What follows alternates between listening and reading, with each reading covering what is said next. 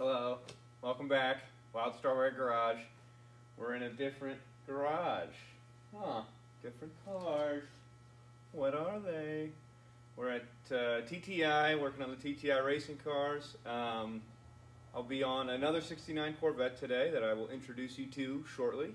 Uh, and I'm going to show you how I'm going to get this thing ready to race. Now, I did a lot of work in the off season. I'll go over all the, stu- the stuff that I did uh, over the winter and everything that's left to do before we go racing, uh, hopefully the beginning of next month. We want to go out May 2nd. We'll see what happens if it doesn't get canceled. And uh, yeah, I'll walk you through everything that has to happen. But first, let me introduce you to the car.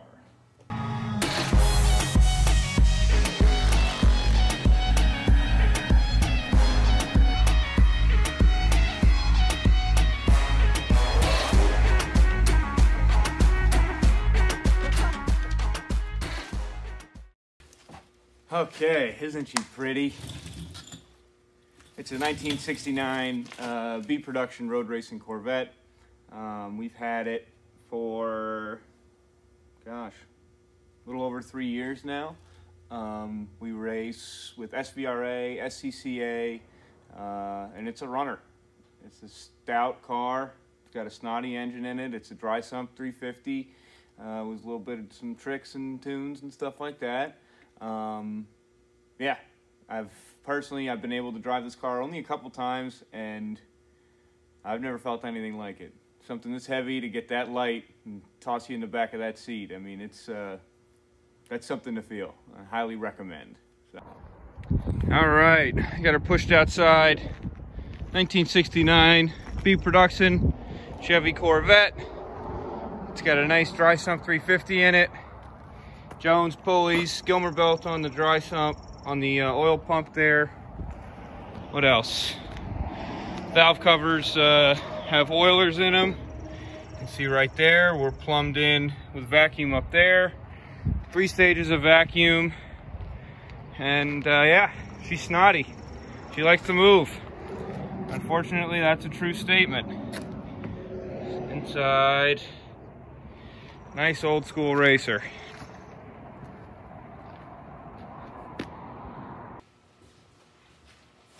Okay, we're doing two-piece rotors. Tom's got them. Uh, right there. Two-piece rotors.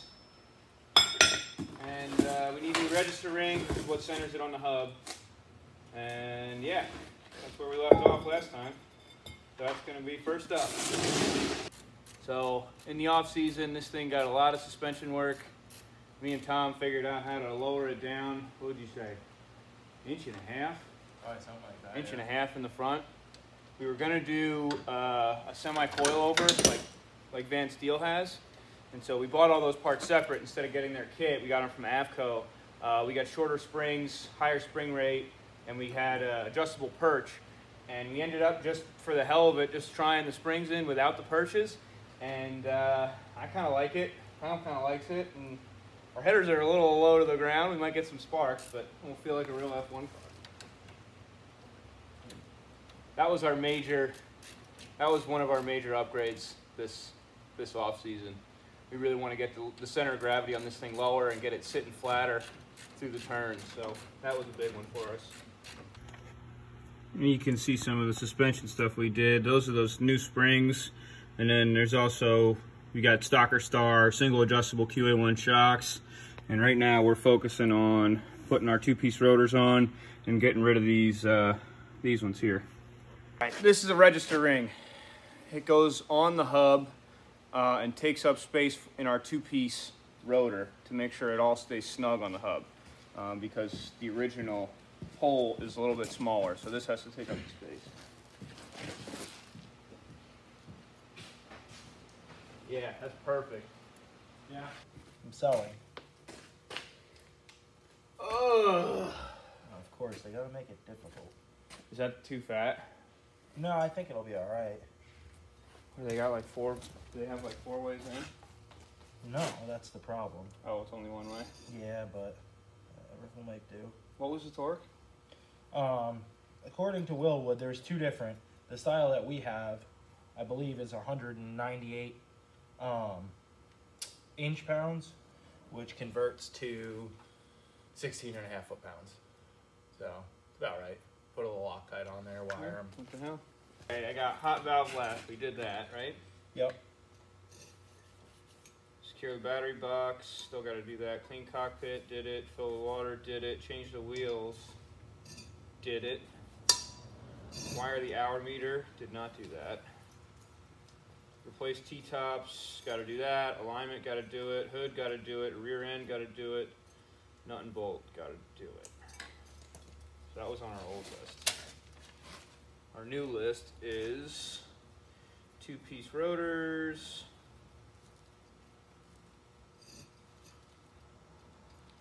brake ducts, Yep.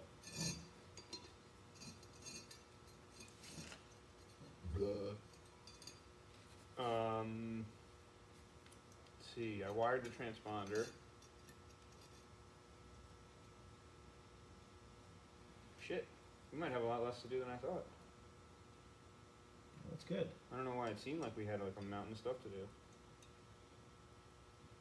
Well, right before all this crap happened, we did.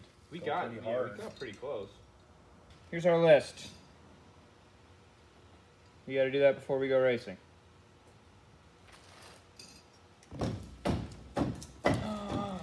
Hello, Molo. Come here. Hey. Hey, shop dog. Yeah, she misses me. Right? She doesn't even like you. Oh, she doesn't. Molly, you're breaking my heart. Oh yeah. Give me a kiss. Yeah. Come here. Come here. Come here. Come here. Yes. Yes.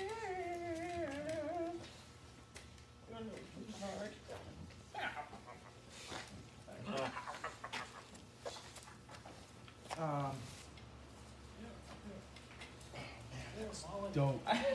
You don't want to go. Hey, get over there. Go with Grandpa. She don't want no part of that rain. No, I guess not. She wants to stay here and work. Yeah.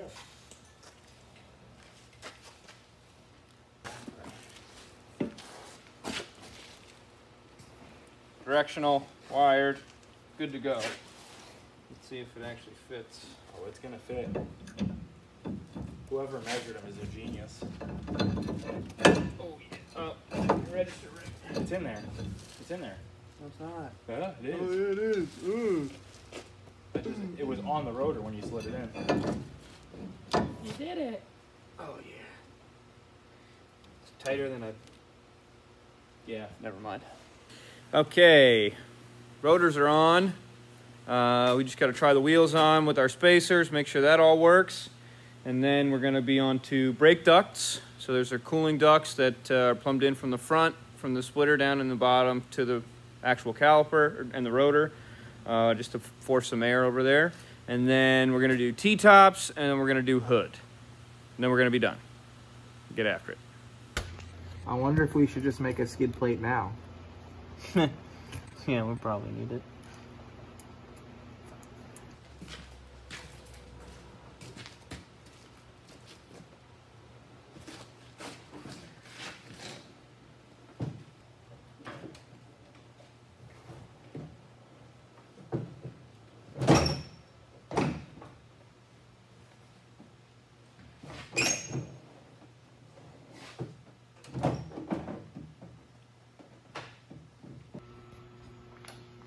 T-tops on. Hood is on. Tom is Turned on? Nah. It's not a Ford. Oh. Putting in the 411s, taking out the 373s. Uh, we're running at the New York Safety Track on the 9th, and it's a short track, so we want those 411s in there to shake everything down. Um, so I'm to see how fast I can do this. It's a pain in the butt to do one in uh, in a Corvette, but uh, I've done a couple, and see how fast I can get through it.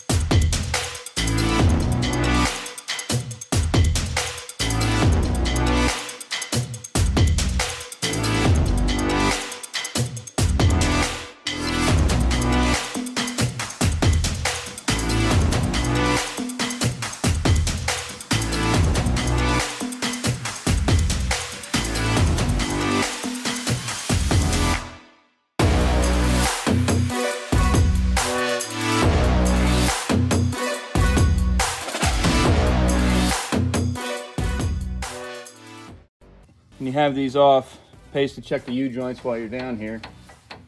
Both these feel pretty good. No catch, no hitch.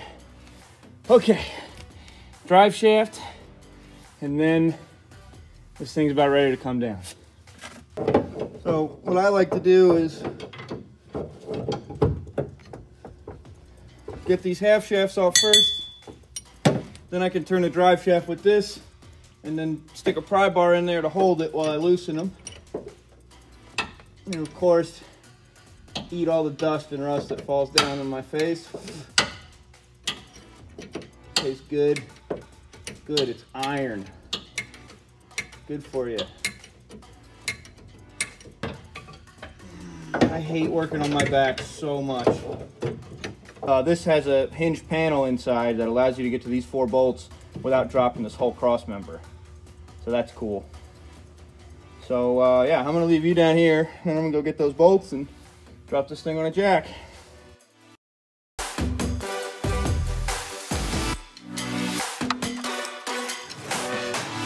All right. Well, that's old one out in under 30 minutes. So new one's gonna go in slower than that, but we'll get after it.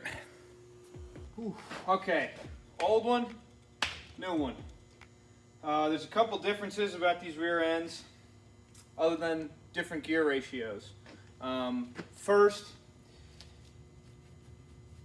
this one has threaded stub axles. So instead of those U-bolts I took out for the half shafts, you get these heavy duty caps with bolts in them. That's the first thing. The second thing is the cover. Um, so because I have that panel in there to take this thing out, it's a little bit difficult to line up just the, the holes. So this has this cover has studs put in here so I can pop these uh, studs right up through the holes and then it'll all be lined up and ready to go. So I'm going to change to that. And then, uh, yeah, I just got to make sure I still have the hardware for that somewhere. So, get after it and get this thing back in there. Be done.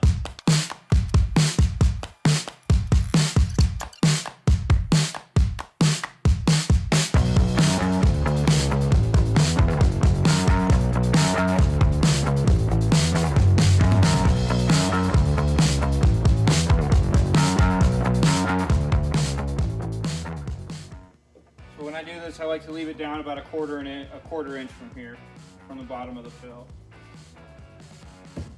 This cover also has a drain in it,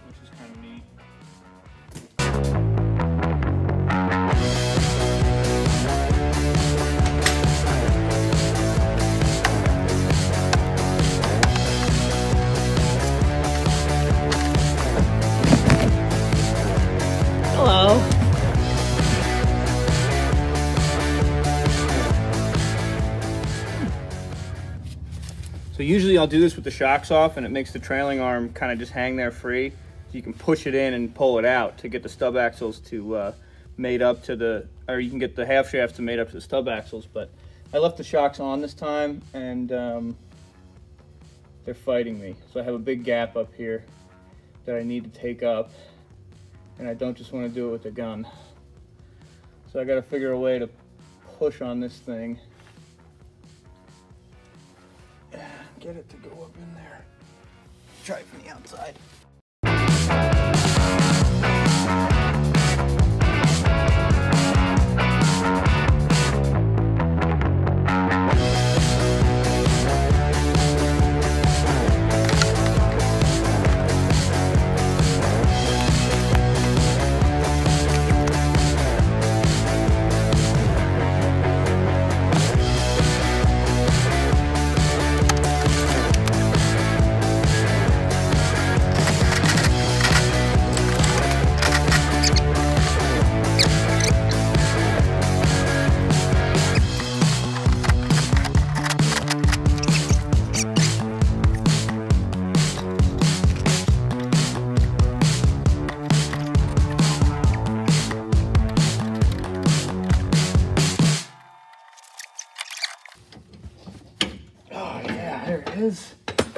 Good sound. Oh, I'm sweaty. Christ's sake.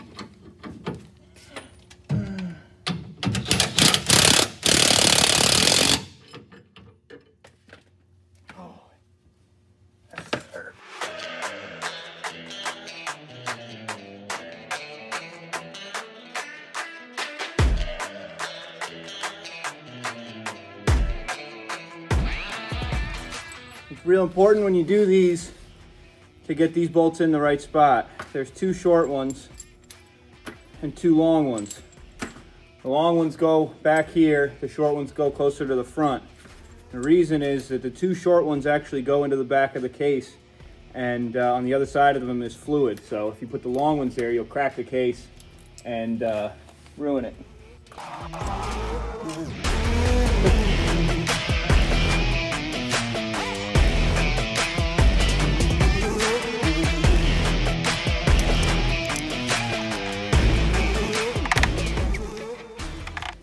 There's this little dimple in there that goes into the case and it's not going in. If you just force it, it'll uh, misshape it and then you're, well, just making a lot more work for yourself. Ugh. I think it's because it's all rotated right now. There it is. Bingo.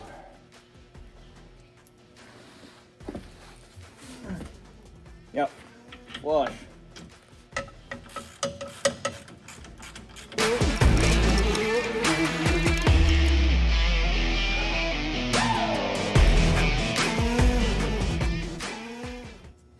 So I had about a half inch of thread shown before.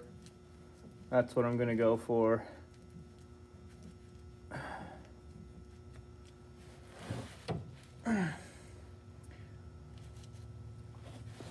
Okay, so that should end up in there. Uh, once this thing gets some weight on it. This is kind of an abnormal spring because usually you can't just do these links, you know, it won't be up that high. That's because we work to get the back down uh, pretty hard over the off season. But um, yeah, because usually this will have more tension in it to where it'll be hanging down here and you'll have to use the jack to uh, bring up one side at a time to get on these. And that's honestly why this was fighting me in the middle. If, uh, if I didn't have to link on these before I got on in the middle, it wouldn't have been very hard to get this spring up there. But it's the same thing as always with this car and just those little things, you know, you get used to. Okay, that's it. Rear end's done.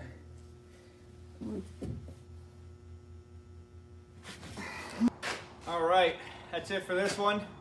Um, we got this thing, got the new rear end in it. We got those new uh, two-piece rotors on, uh, hoods on, T-tops on. So we are gonna go take it for an alignment in the next couple days, and then the next time you see it, we'll, well, I'll, I'll, do the video of that alignment, and then uh, then we're going to the racetrack next weekend. So, um, yeah, I'm gonna cover all that as well. Get some good in-car footage for you guys to watch, and uh, we'll hear this baby run.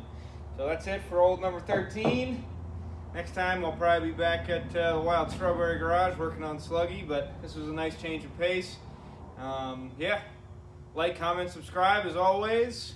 If you want to contribute, you want to donate, paypal.me backslash Wild Strawberry Garage. We'll see you next time.